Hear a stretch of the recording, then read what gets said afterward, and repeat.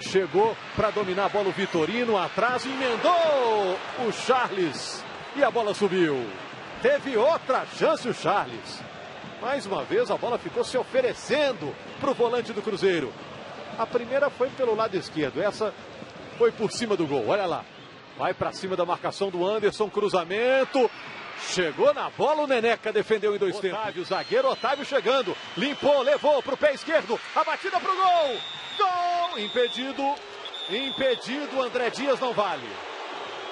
André Dias chegou a tocar para o gol e viu a bandeira subir. Olha a posição do André Dias depois do chute do Otávio. Tocou de primeira, só escorou pro gol o André. Tentando botar velocidade no ataque do Cruzeiro. Joga na frente o Ortigoso na primeira jogada. Brigou mais uma vez. Aí o Montijo. Bobô correu para a área. A bola é para ele. O desvio. Linha de fundo. Na melhor chance do Cruzeiro até agora no jogo. Numa jogada de muita raça do Ortigosa. Montijo jogou para a área. Bobô fechou, tentou raspar a bola. Kerrison limpou, ameaçou bater, tocou na área para o Montijo.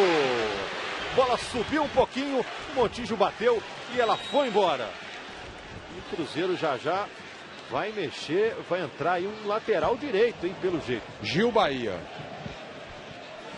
Olha a chance que teve o Montijo. Ele dominou, imediatamente bateu com o pé direito. Mas a bola subiu de do Marcos Rocha. Fez boa jogada pela direita. O cruzamento, toque para fora. Emendou o André Dias. Olha lá, a bola do Marcos Rocha. Ele vem em velocidade, bate forte na bola. O Fábio fica parado olhando, foi pego no contrapé. na frente com o André Dias.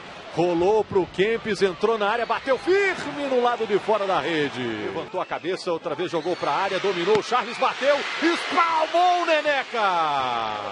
Canteio para o América antes que a bola chegasse o André Dias. E a defesa do Neneca. Entregou para o Roger. Montijo passou, recebeu na área, bateu cruzado. Neneca fez a defesa. E Micão manda pela linha de fundo.